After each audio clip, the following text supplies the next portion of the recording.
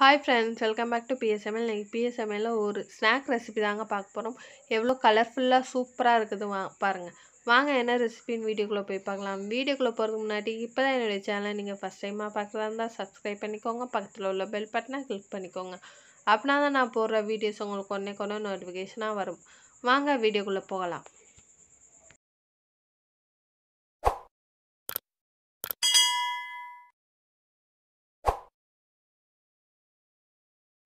இந்த ரெசிபி செய்கிறது பார்த்திங்கன்னா கால் ஸ்பூன் அளவு மஞ்சத்தூள் எடுத்துக்கிறேன்.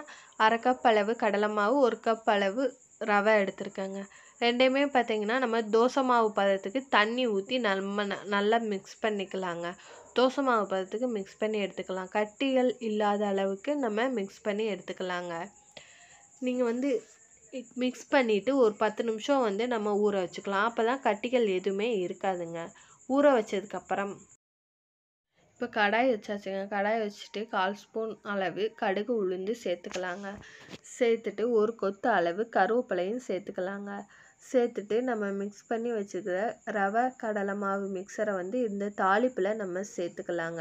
நீங்கள் உப்பு இந்த ஸ்டேஜில் சேர்க்கறனாலும் சேர்க்கலாம். மிக்ஸ் பண்ணும்போது சேர்க்கலாம். இல்லை கடைசியாகவும் சேர்க்கலாங்க. இப்போ இந்த தாளிப்பு கூட நம்ம மிக்ஸ் பண்ணி வச்சுருக்கத சேர்த்துட்டு மீடியம் ஃப்ளேம்லேயே கொஞ்சம் கொஞ்சமாக சேர்த்து நம்ம மிக்ஸ் பண்ணிக்கலாங்க. மீடியம் ஃப்ளேம்லேயே நம்ம வச்சுக்கலாம். மீடியம் ஃப்ளேம்லேயே வச்சு குக் பண்ணிக்கலாம்.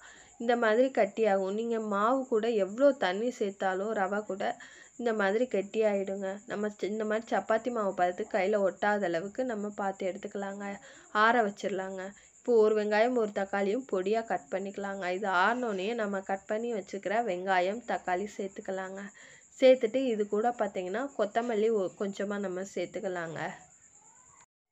இதில் பார்த்தீங்கன்னா கரம் மசாலா சேர்க்கும் போது நல்லா வாசனமாகவும் இருக்குங்க. குழந்தைங்க சாப்பிட்றதா இருந்தால் கரம் மசாலா சேர்க்கவே தேவையில்லைங்க. இப்போ கால் ஸ்பூன் அளவு உப்பு சேர்த்துக்கலாம் உங்களுக்கு காரத்துக்கு தக்கன மிளகாய்த்தூள் சேர்த்துக்கலாம் இல்லை பச்சை மிளகா கூட சேர்த்துக்கலாங்க ஜீரகம் சேர்க்கும்போது நல்லா வாசனையாக நல்லா இருக்குங்க. இதை வந்து நம்ம இப்போ மிக்ஸ் பண்ணி எடுத்துக்கலாங்க.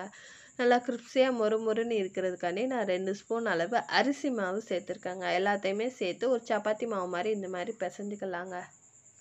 இன்னொரு கையில் எண்ணெய் தடவிட்டு ரவுண்ட் ஷேப்பில் எடுத்து ஜஸ்ட்டு நம்ம லேசாக புஷ் பண்ணி இந்த மாதிரி நம்ம எடுத்துக்கலாங்க. சின்ன உருண்டைகளாக எடுத்து அது இன்னொரு கையில் நம்ம எண்ணெய் தடவிட்டு இன்னொரு கையை வச்சு நம்ம அழுத்தம் கொடுத்துட்டா அவ்வளோதான் அந்த ஷேப் கிடச்சிருங்க.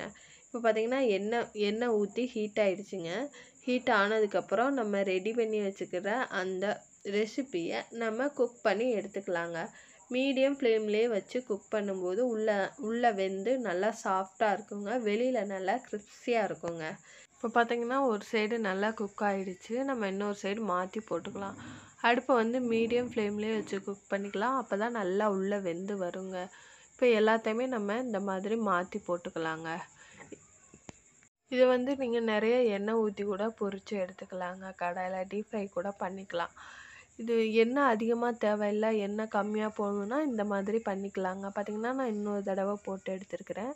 மீடியம் ஃப்ளேம்லேயே குக் பண்ணிக்கலாம். ஒரு சைடு வெந்துருச்சு இன்னொரு சைடு மாற்றி போடுறேங்க. அவ்வளோதாங்க நம்மளோட ஸ்நாக்ஸ் ரெசிபி ரெடி ஆயிடுச்சுங்க. கலர்ஃபுல்லாக மேலே நல்லா கிரிப்ஸியாகவும் உள்ளே நல்லா சாஃப்டாகவும் சூப்பராக ரெடி ஆகிடுச்சுங்க நீங்களும் இந்த ரெசிப்பியை செஞ்சு பாருங்கள் செஞ்சு சாப்பிட்டு பார்த்துட்டு உங்களோட ஃபீட்பேக்கை என்னோட கமெண்ட் பாக்ஸில் கமெண்ட் பண்ணுங்கள் உங்களுக்கு இந்த ரெசிபி பிடிச்சிருந்தா லைக் பண்ணுங்கள் உங்கள் ஃப்ரெண்ட்ஸுக்கு ஷேர் பண்ணுங்கள் மறக்காமல் என்னுடைய சேனலுக்கு நீங்கள் சப்ஸ்கிரைப் பண்ணிக்கோங்க. Thank you friends